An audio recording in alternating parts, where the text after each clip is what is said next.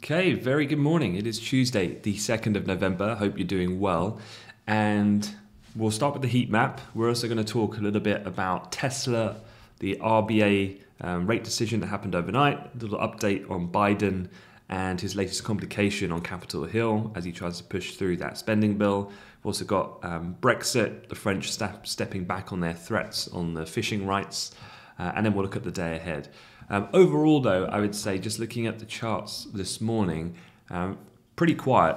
Um, most major products across the different asset classes are trading relatively flat. You can see here in these center charts whether the DAX, the Nasdaq, or the S&P, we're kind of consolidating at and around the record high levels at the moment in time, uh, and that's makes sense logically. You know, we've got the the Fed formal announcement of tapering expected tomorrow. You've also got the lights of the OPEC meeting on Thursday, the Bank of England will they, won't they hike rates on Thursday, and non farm payrolls on Friday.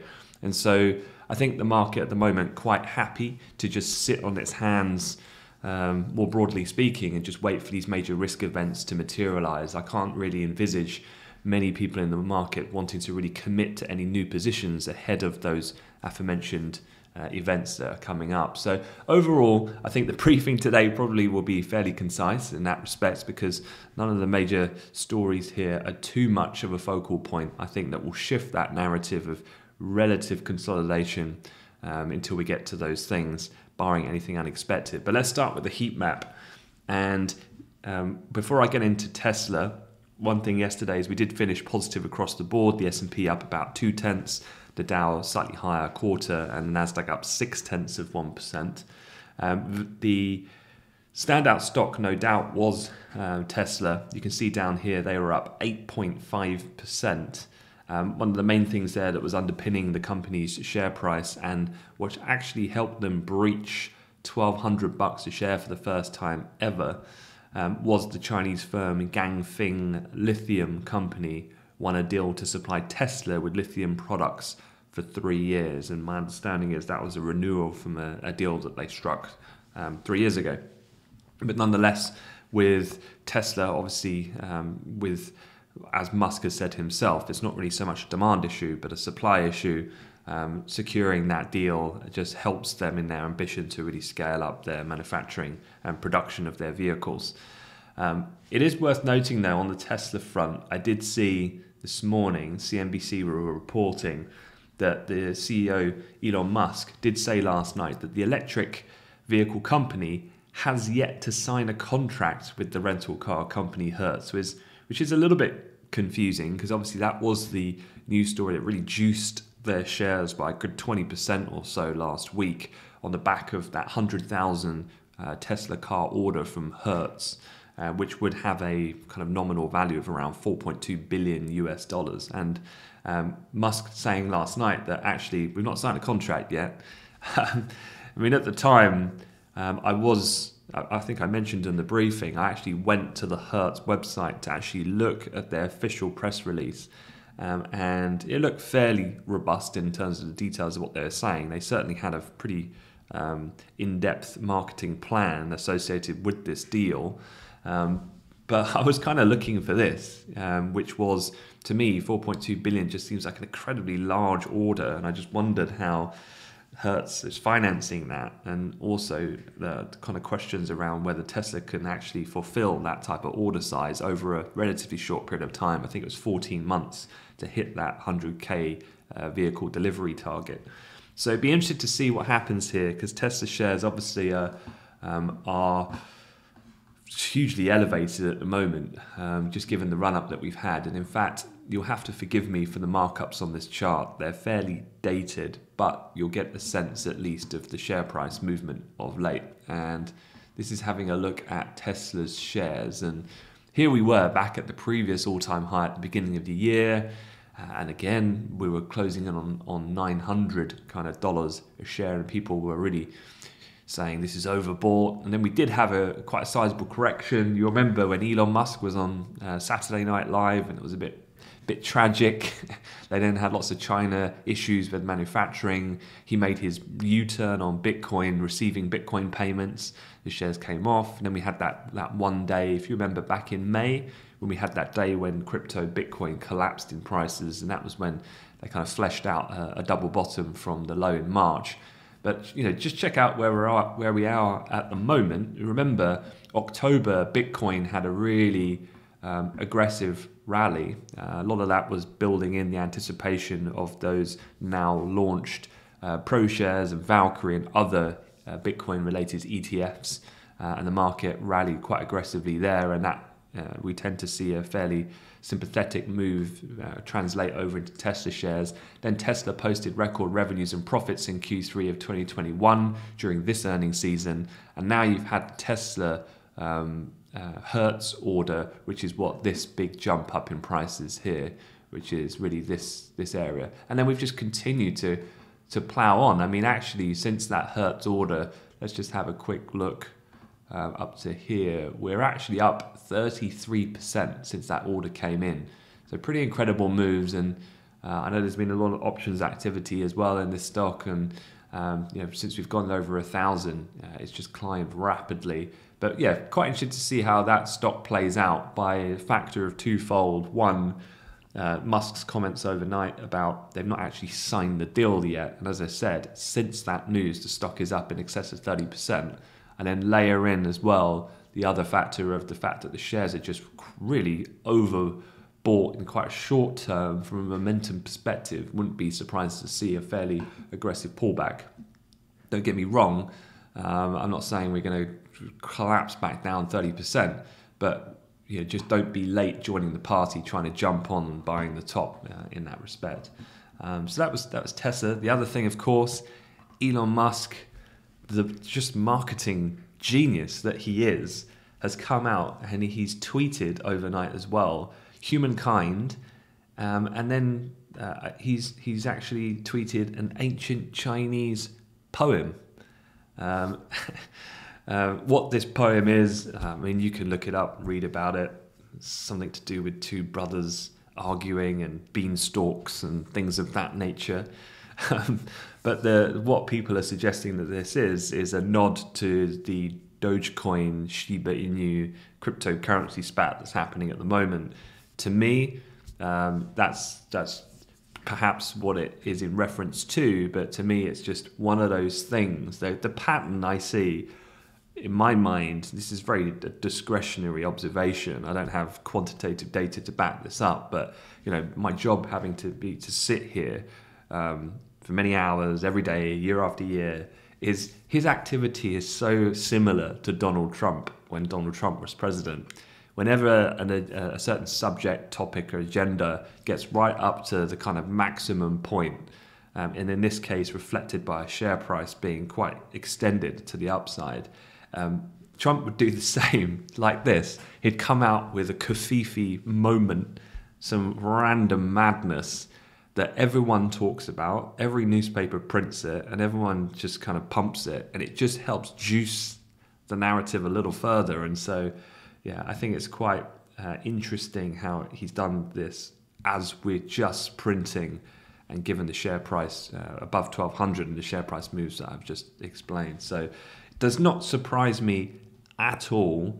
And in fact, the more crazy the Tesla share price becomes, the more crazy his tweets will likely become to support and sustain in an attempt, I believe, to keep that going. Because he knows as well for sure that it will it will come off. And it wouldn't be surprising as well for me, uh, I think, to hear Elon Musk in the coming days, given where we're trading in Tesla shares, to say something along the lines of, I think the shares are a little a little overextended. I think they're quite expensive. I think this move's a bit overdone. So almost talking down his own stock.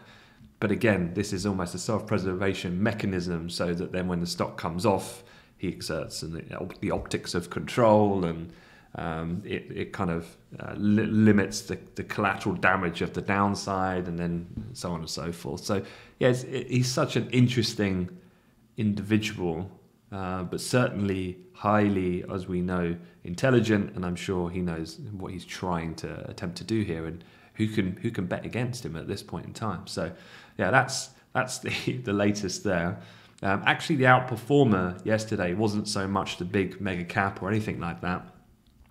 Um, the actual winners yesterday were the small caps. The Russell 2000, in fact, was the standout and rose 2.7% yesterday. That was the biggest daily percentage gain since late August, uh, in fact. But at the moment, we're still encountering a lot of complications on Capitol Hill about getting various different bills passed. So we'll see how sustainable that is in the end. But uh, generally, COVID, things like that, uh, looking in a much better condition now than what we were several months ago.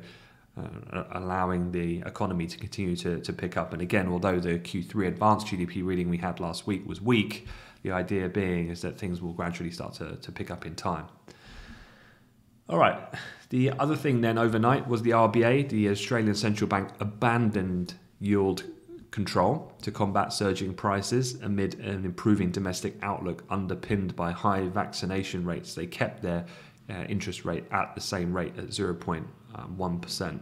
Uh, the one thing I would say here that was quite um, interesting is that it was only like a month ago or so, maybe slightly longer, when they were talking about we're not going to hike rates until you know 2024, and now they've gone all full swing to a, a period of just uh, fairly abruptly, but given some of the yield move that we've seen, um, taking taking away one of their main stimulus tools, which was yield curve control. So interested to see how quickly um, things can shift.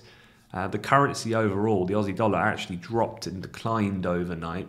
Um, let me just bring it up so I can show you what that type of price activity looks looks like. I mean, it's not the biggest move in the world, but it's certainly directionally fairly uh, clear to see. So you had some initial bout of volatility.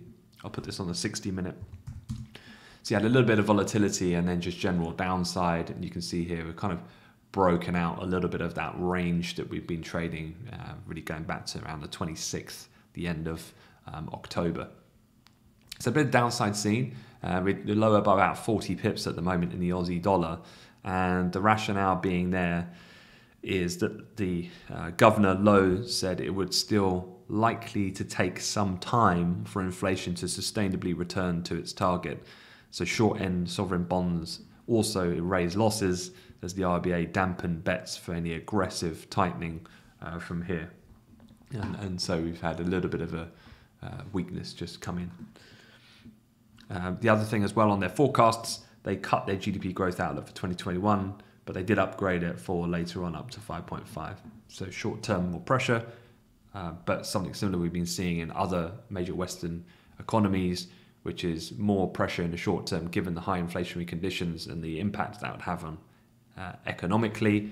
And then once that then pressure starts to fade, the economy starts to catch up pace back into next year in 2022. All right, into um, US politics. Biden's domestic agenda getting another setback on Monday. Uh, again, the thorn in his side. I'm sure Biden wakes up in a cold sweat dreaming of Joe Manchin at the moment, as a sight that might be, uh, because Manchin said he would not commit to supporting a 1.75 trillion framework on social spending and climate change that was uh, unveiled last week. Um, and so, uh, again, as a reminder, the Senate is an absolute even 50 50 split. It's the Vice President Kamala Harris that um, holds that then uh, vote in a tied situation to then tip the balance in favor of the Democrats. So if Joe Manchin's not playing ball, there's no passage of any deal at this point. And so, particularly problematic that any one Democrat, whether Manchin or not, um, can effectively veto power away from what the president's agenda is. And, and that's kind of what's happening at the moment. So it drags out a little bit further. And then looking at Brexit, I talked about this yesterday. It's just a quick update. Macron has said that fishing right dispute talks between the US and France will resume, as we know, today. But he's already gone in and said that retaliatory measures against the UK over the fishing dispute will not be implemented at midnight as talks are ongoing. And the actual movement in the pound is hard to see because there really isn't any. So it's just more of a political update than it is one meaningful for, for the sterling currency. And then quick look at the day ahead. Yeah, really quiet day. Uh, and this kind of then goes full circle all the way back to what I said at the beginning. A lot of people waiting for these main events to happen, really commencing tomorrow night with the FOMC. And so today, again, barring anything unexpected, could be relatively quiet. Um, so I'd definitely be looking at the charts from a technical perspective, looking at the general range trades that we've been um, sitting in for the time being and may well be respected for now. Uh, because today there's not really a great deal coming out. Uh, really, nothing major at all as far as economic data is concerned. You've got the API crude oil inventories later on tonight. Um, so then, from a speaker perspective, central banks, no one really too meaningful. Um, ECB's Elderson is not speaking on anything economic or policy related. Fixed income supply out the UK, um, 25 and 2071 gilt auctions, and then from an earnings perspective, um, just kind of slowly coming out now. But so you're aware for anyone trading the FTSE at the open in an hour's time, because I'm just coming up to uh, 7 a.m. this morning here in London. You've got BP and Standard Chartered, and then later on in the US, you've got Pfizer, one of the major names reporting today. All right, going to leave it there, let you guys get on with the day. Hopefully that was useful, and yeah, enjoy the rest of the session. Take care.